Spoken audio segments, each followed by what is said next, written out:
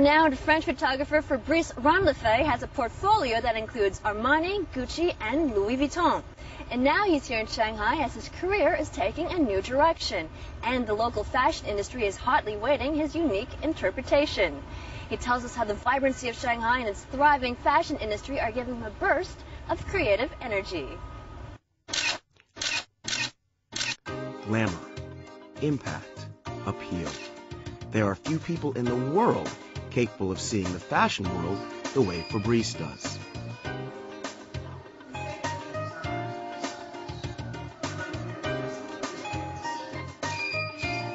Now, after 15 years in Paris at the top of his profession, he's setting up his studio right here in Shanghai and bringing with him an extremely unique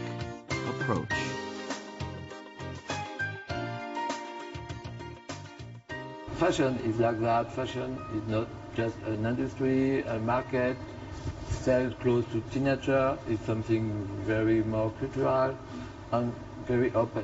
And I like fashion because it's the only one part of the professional photography or the photograph can explain something.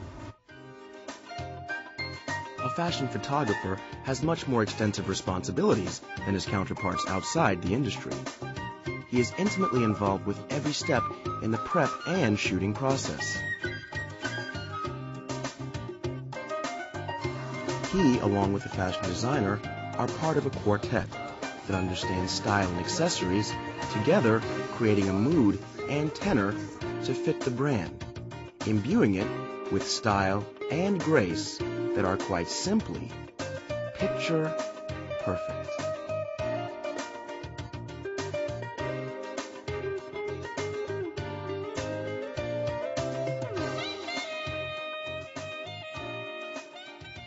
I think for Brown, it be elegant, simple, classic. It's very important to have something simple, as very nice, very clean. No bring the picture behind the, the dress or behind the model. Of the entire team, the photographer must have the best fashion sense. It requires a wealth of experience with big brand names and a broad portfolio which often includes cosmetics, ladies' wear, luxury goods, and automobiles. Fabrice is known for his unusual ideas that often highlight the essence of his subject. This has become the solid base of his success. I think a photographer is never successful because uh, if you think you are do your better picture, you stop. Fabrice traveled halfway around the globe to finally arrive in Shanghai. Here, he finds a world totally fresh to him, a world that seems far, far away from Paris. For him, it is a creative treasure trove, one he explores with zest. I think if you come in a country very different, if you start to compare in my country, I eat that, in this country, never you are open on the country. And it's very important to stop, to, to, to have a comparison on just life, on enjoy all, look.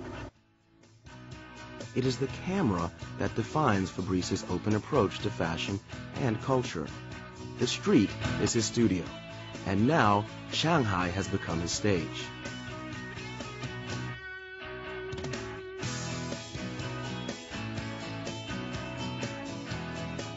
It seems Fabrice has caught a buzz that thrills him. And it's not just the young Chinese faces. It's a reborn passion he remembers from those days long ago in Paris.